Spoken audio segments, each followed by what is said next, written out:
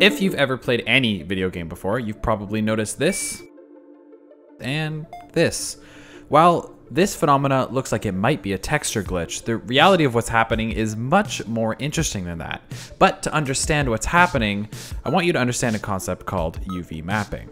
Now, in video games, it would be nice to add as much detail as possible with your models, but game designers can't add a million polygon rocks into their scene, so instead, artists will take a lower resolution version of their model and place the higher resolution details as a texture on top of the low resolution model. However, if you were to try and just drop the texture for your rock directly onto the 3D model, the chances are good that you wouldn't see very desirable results, since your 3D mesh has no context of where to place your 2D texture in its 3D space. This is where UV mapping comes in handy. In this process, you take your three-dimensional mesh and unwrap it to a two-dimensional image. Depending on your 3D application, each face or polygon in your 3D model is tied to a face on the UV map. Now, here's where the problem arises. To prepare your model for UV unwrapping, you need to mark seams. These seams tell your software where it's allowed to cut the mesh in order to flatten it out into 2D space. For example, if we wanted to map a simple texture onto this cube mesh, we need to cut this mesh in a way so that it lays perfectly flat in a 2D space.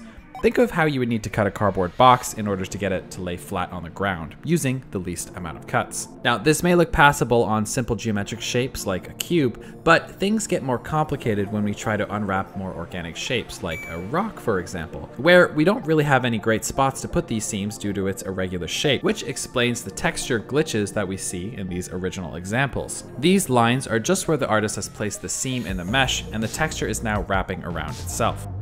Seams are unavoidable when UV unwrapping, but artists have a few tricks up their sleeves to hide these seams. One of the most common ways to hide seams is to place your cuts in less visible spots on your model, like on the hard edges of your model, like our cube example. You can also hide seams in spots like the underside of the mesh, or even in natural cracks in your geometry in rarer cases. In a lot of scenarios, making a really obvious seam can be unavoidable. If you happen to mark a seam in a very obvious spot, like a rounded rock, a very common technique to hide the seam is to literally hide the seam behind other objects in your level, like using other rocks, grass, or bushes.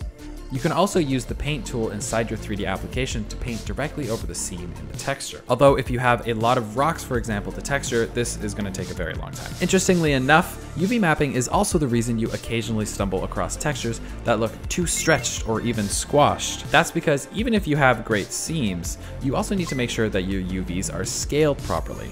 With more organic shapes, lots of the triangles that you end up with in your mesh may be different sizes, which ends up warping our texture after UV mapping is applied. To avoid this, we can use a checkerboard texture on our mesh to make sure everything is balanced, and then once everything looks good, we can then apply the final texture.